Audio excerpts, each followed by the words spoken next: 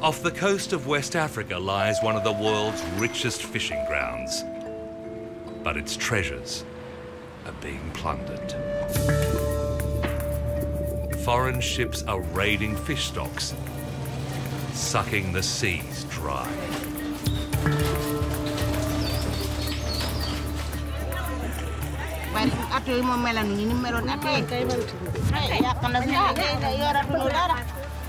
Local fishermen who get in the poacher's way risk everything. ba ma nekkee si àddina ba léegi bis boobu laay soogay am lu ma métti dëgg dëgg dëgg si bis boobu te dootuma ko fàtte si àddina It's a human feeding frenzy, driven by the world's insatiable appetite for fish. Billions of people rely on the ocean for food, but rampant overfishing is turning much of it into a watery desert. The United Nations estimates more than a third of the world's fish stocks are being fished beyond what's sustainable. In some regions, they're being wiped out. In conjunction with the European public broadcaster Arte, we go inside communities whose shores are being pillaged. And we meet the eco warriors helping them fight back. These are the places where we draw our line in the sand and say to the poachers, you go this far, but no further.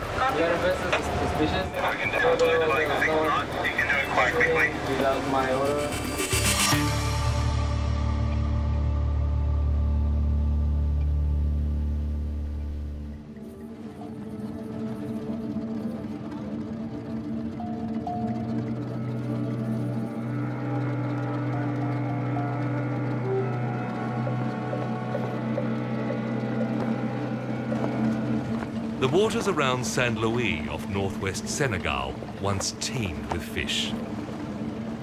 Local fishermen made a good living casting nets from small handcrafted boats called pirogues. But that world is vanishing.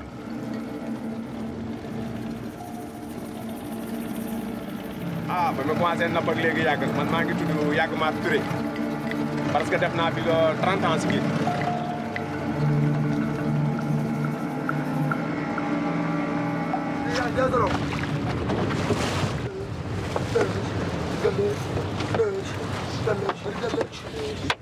After a full day on the water, Yague's nets are empty.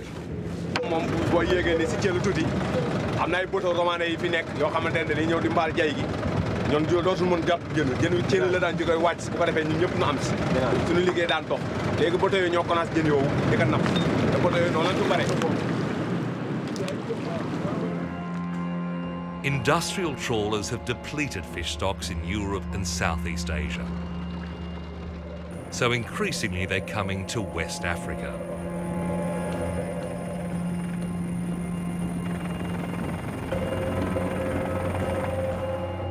Dwindling catches are forcing locals like Yague to go further out to sea.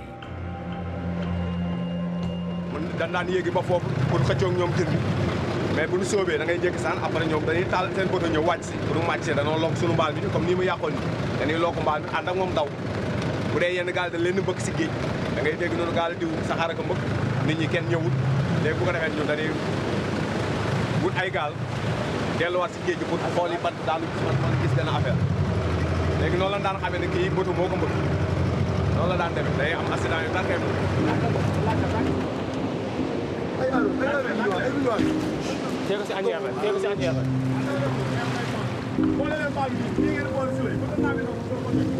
Senegal's coastline has become a hunting ground where freighters and pirogues compete. Collisions are common. For small boats, they can be deadly.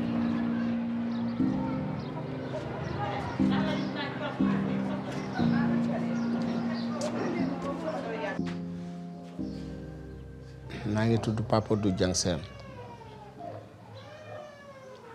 maa ngi dëkk Gendar.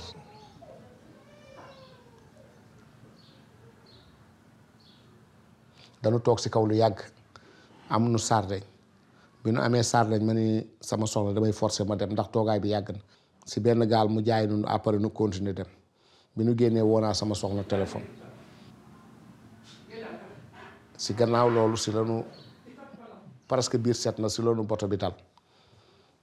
Avant mu nuy dal sama doom bi moom nga jëkk signalé ni ma papa man ka naa mun ma xoolee nekk suñu gannaaw.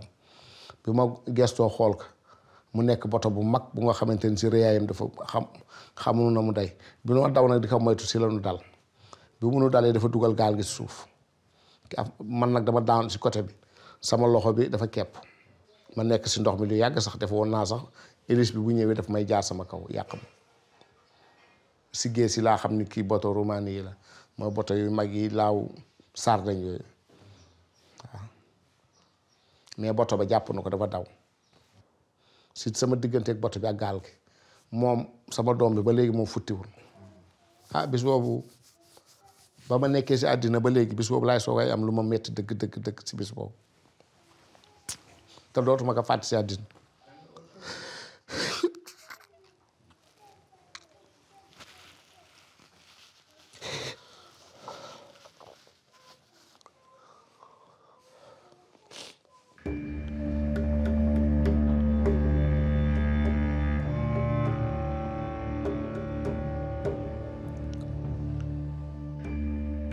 Has robbed him of his livelihood.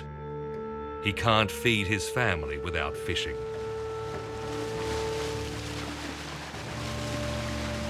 The industrial ships come from Europe, Russia, and Asia, especially China. Some have papers to be here, but the legal veneer can be deceptive. Karim Sall is a fisherman turned activist who tries to monitor the intruders. He says this ship flies the Senegalese flag to avoid inspections, but its co-owners are Spanish. C'est des prêtres, non. Ce pas des bateaux sénégalais. Il y a des matelots sénégalais, mais quand tu vas monter sur le bateau, tu vas voir que c'est des étrangers. Le bateau est étranger, le, capitaine est des étrangers, et le débarquement va en Europe. Et eux, ils mettent des lames qui détruisent d'abord les habitats de ces poissons. Ils n'ont pas des, des filets euh, sélectifs. C'est des filets euh, qu'on appelle des filets chaussettes qui ravagent tout. Ils ciblent des espèces, mais ils pêchent tout. Donc les 80% de leur pêche, ils les rejettent en mer. Ils sont en train de transformer les eaux euh, sénégalais en désert liquide. For many foreign ships, West Africa is the new frontier. It still has big reserves of fish, but it's being plundered with no regard for the future. The large trawlers can scoop up more fish in a week than the small boats do in a year. Local fishermen fear there'll be nothing left for their children.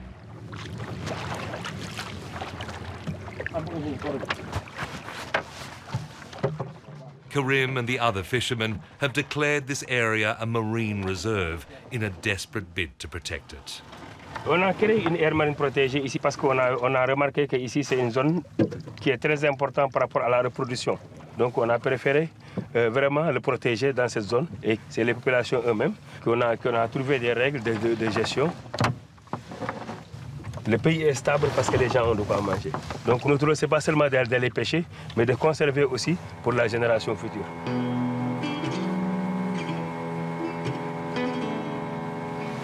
Fishing trawlers aren't the only threat. Foreign owned factories have sprung up to make fish meal. Cheap feed for farm animals and aquaculture made from bony fish like sardines. In Senegal's biggest fishing port, Joal, locals could once buy cheap sardines at market. Now, buyers from the factories are snapping up the fresh catch and driving up the price. Ça, c'est le- c'est le sardinelle plat. Maintenant, depuis que les usines se sont installées, on n'arrive plus à avoir la quantité voulue par rapport aux régions. Et il y a une forte pression sur les ressources à travers la demande de ces usines. Sardines are a staple in Senegal and the main source of income in Joal, but they're becoming scarce. The factories need five kilograms of fish for every kilogram of meal. The women who process fish for the locals fear their jobs won't last. Bari at yooyu moom melanu ni ni meloon at yee lii bu amee benn fan bala amati yàlla yàq na suñu liggéey yoratuñu dara sonn lañ def lii lii mooy suñu àll bu ñu liggéeyal duñu am dara jën bi baamu suñu dara du dox bi moom dëkk moom la liggéeyee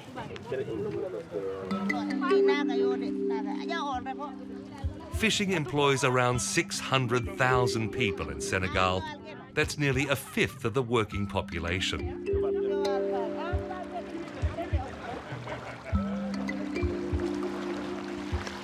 With so much at stake, some local fishermen are taking matters into their own hands.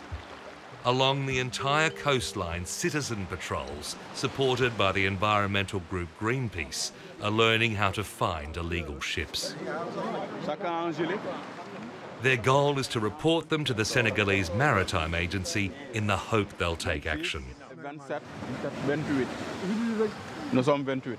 27, 28. Nous sommes 28. Les bateaux de pêche industrielle, il n'y a pas besoin de les aborder. On ne les aborde pas. On va jusqu'à les voir. On essaye de mettre une lumière dessus. On prend la photo et on prend le relevé GPS.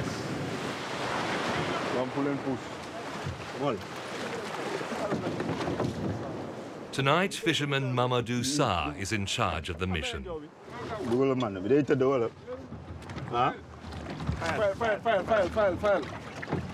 Bon, on va s'aligner et puis on va y aller en file indienne pour rester groupés et par mesure de sécurité.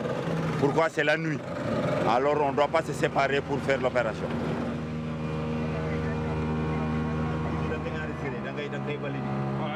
They spot a foreign vessel in a catch area intended for local fishermen.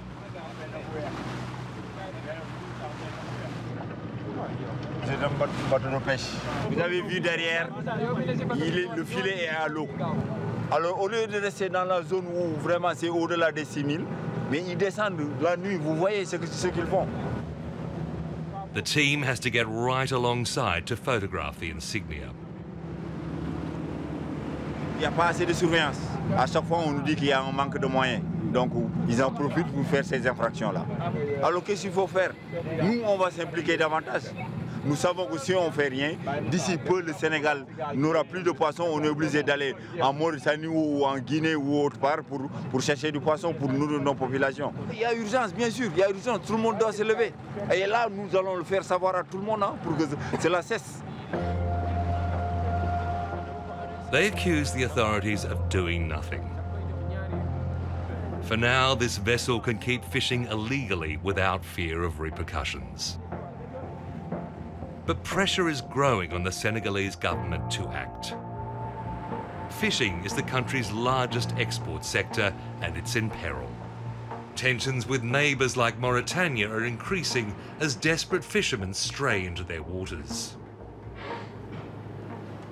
Avant, il y avait une abondance. Il n'y avait pas cette frontière entre Sénégal et la Mauritanie dans la pêche. Il y avait moins d'importance qui a été accordée peut-être aux ressources halieutiques par la Mauritanie. Aujourd'hui, ce n'est plus le cas.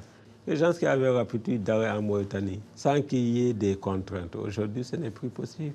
Parce que là-bas, il y a des gardes de côte et les gardes de côte euh, ont tendance à, à tirer ses œufs. Senegal's dwindling fishing grounds have forced some to enter Mauritania's territory illegally.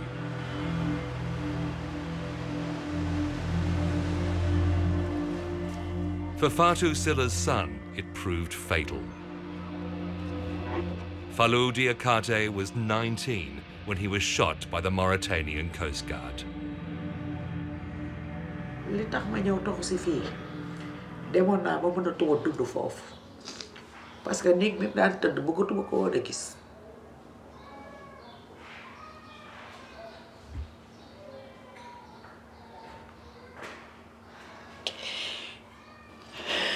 May jàmbat munuma yaay daa ma dem dugg sama gaalu xarit bi su ko defee dinaa fa am sax loo dépensé trois jours tombé kii mu commencé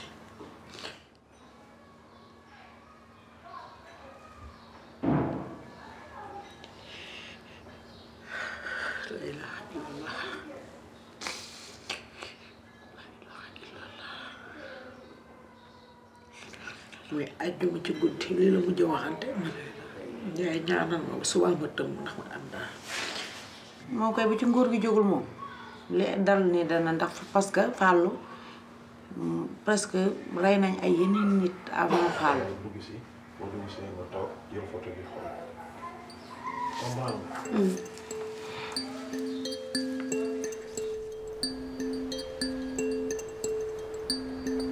The ocean has long been the lifeblood of communities along the coast of Gabon. Lately, the waves have brought trouble here too.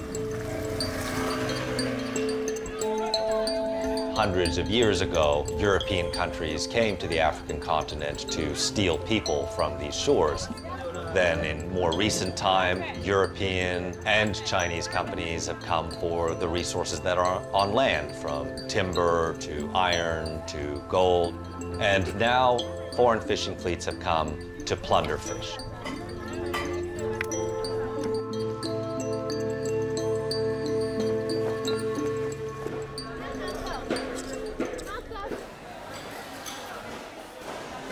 Captain Peter Hammarstedt first came to Gabon seven years ago at the helm of the Sea Shepherd ship, the Bob Barker.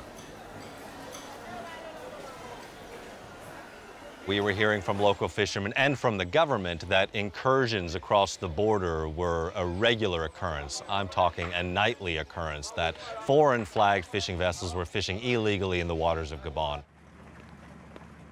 These days, he's working hand in hand with the authorities.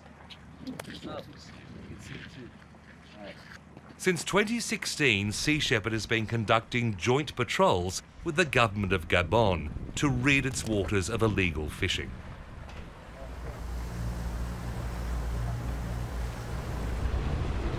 Some of the countries around the African continent may not have the vessel assets that can cover the entirety of their maritime jurisdiction or the range to get the law enforcers to the scene of the crime. So Sea Shepherd provides the ship, the operating crew who run the vessel, and the fuel, while the government partner, the host country, provides the law enforcement agents, the people with the authority to board and inspect and arrest vessels for illegal fishing.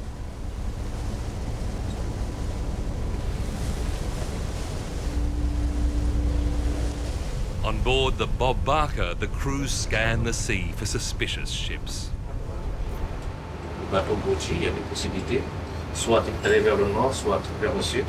So maybe we can go south for a few hours. We know when the last, the limit of the turnaround is to go to Port Gentil, so we keep searching south. They soon come across a Chinese trawler and decide to take a closer look. And the blue lights on, okay, so they don't think it's pirates. Yeah. Peter estimates 800 Chinese vessels regularly patrol the West African coast. The Chinese distant water fishing fleet is the largest foreign fishing fleet operating off the coast of West Africa.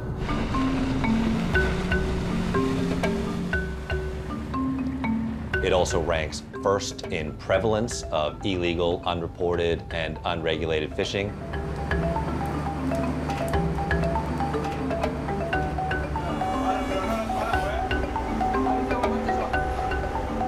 Considering that the largest fishing fleet is also the one most likely to break fisheries laws and regulations, it's the major driver of overfishing in the world.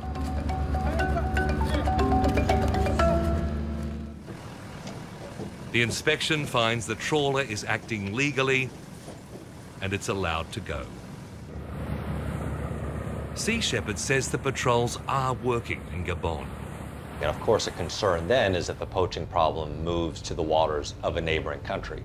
That's why we're now moving from a national approach of dealing with illegal fishing to a more regional approach, ensuring that there's no place for the poachers to hide.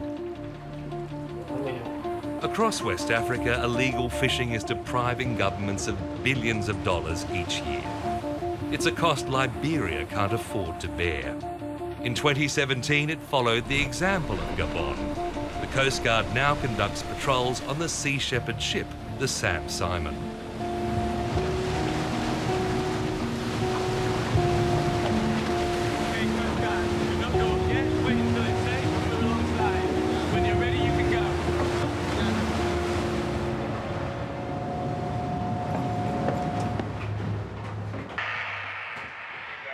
Australian activist Alastair Allen was one of the first captains to take out the Coast Guard patrols. So what kind, what kind of vessel is this? Uh, we're a fishing vessel, tuna purse seiner. You are fishing for tuna. Fishing for tuna, correct. In this training exercise, he's playing the villain, caught in the act of illegal fishing. Okay. Okay. Okay. Now resist. Yep.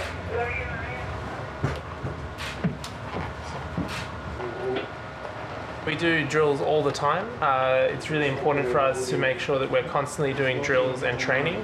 Uh, that way, when the situation arises and we need to be ready to go, um, everyone knows their roles, and uh, especially for the Sea Shepherd crew, for us, we know everything we need to do to successfully get the Liberian Coast Guard on board the vessel.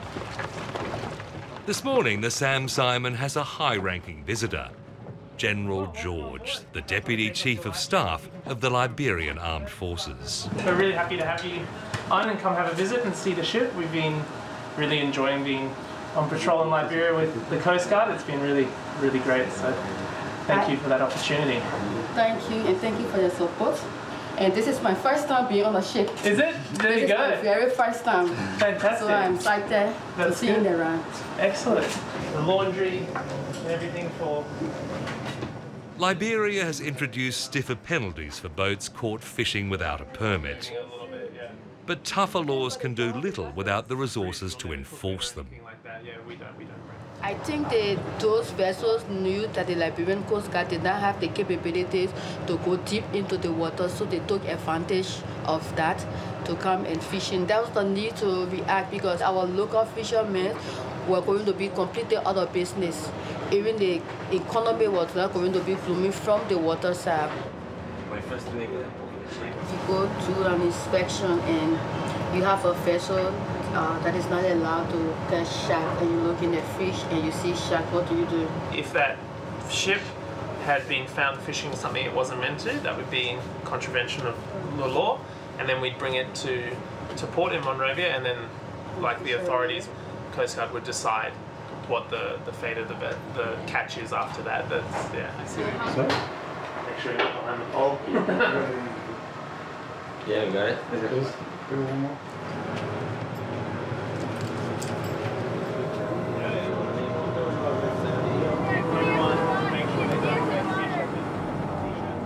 As the General leaves, the crew notices a fishing vessel that's not broadcasting a tracking signal.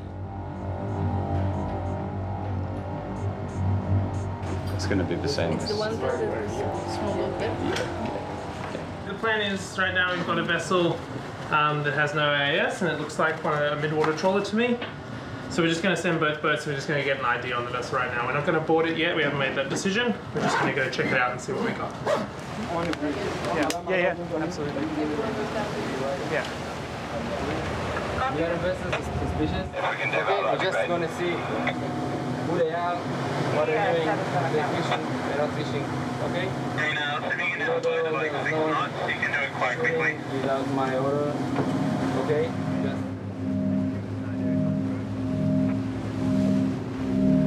The Coast Guard quickly catches up to the trawler.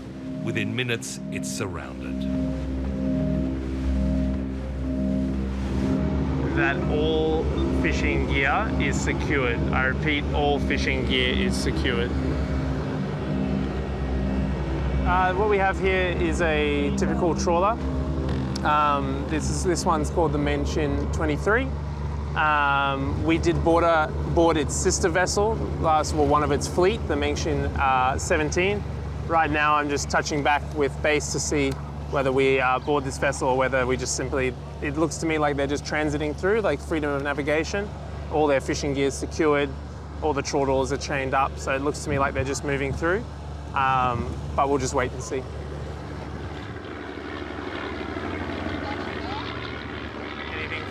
There's no evidence the trawler is acting illegally, so it's free to go. Can you advise we're going to return to the ship? Where are they going? I think they're crossing through. They're going to Abidjan.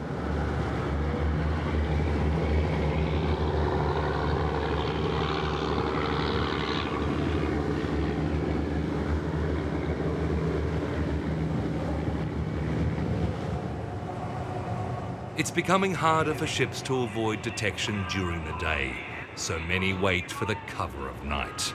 As darkness falls, they grow bolder. Captain Allen and his crew are on alert, their eyes pinned to the monitors.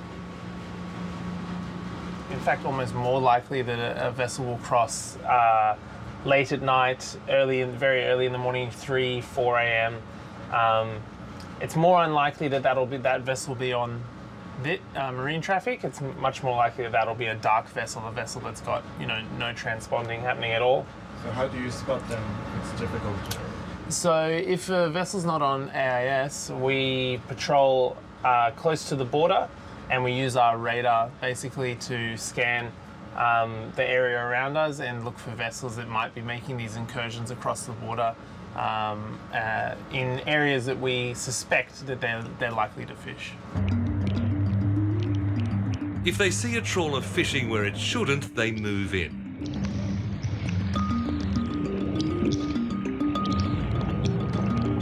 A few hours before sunrise, a Chinese vessel is spotted crossing into Liberian waters illegally.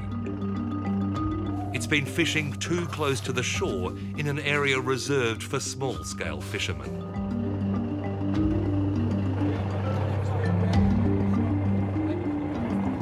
The crew appears to be trying to conceal the boat's identity. Why are you versioning? Because We are from the Liberian Coast Guard. We are responsible to protect the territorial water of Liberia. Uh, we caught you today fishing on the Liberian water. We don't have a paper in compliance with our fishery law. So I will want you cooperate with me. Do you understand me? After confiscating their passports, the crew escorts the Chinese ship to Monrovia, the Liberian capital. There, the authorities seize its catch.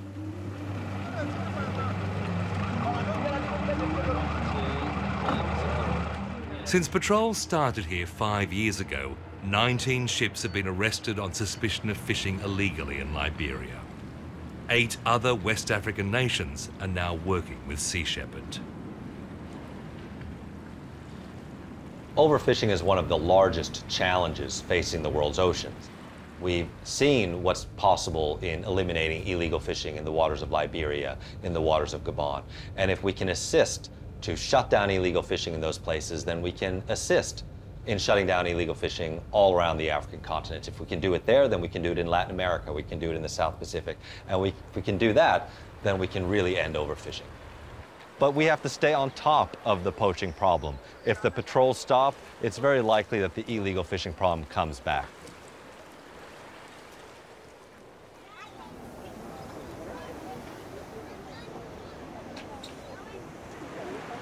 In Robertsport, a Liberian town near Sierra Leone, locals say the fish are slowly returning. But with soaring global demand for seafood set to continue, the world's oceans are being pushed to the brink. Time is running out to turn back the tide.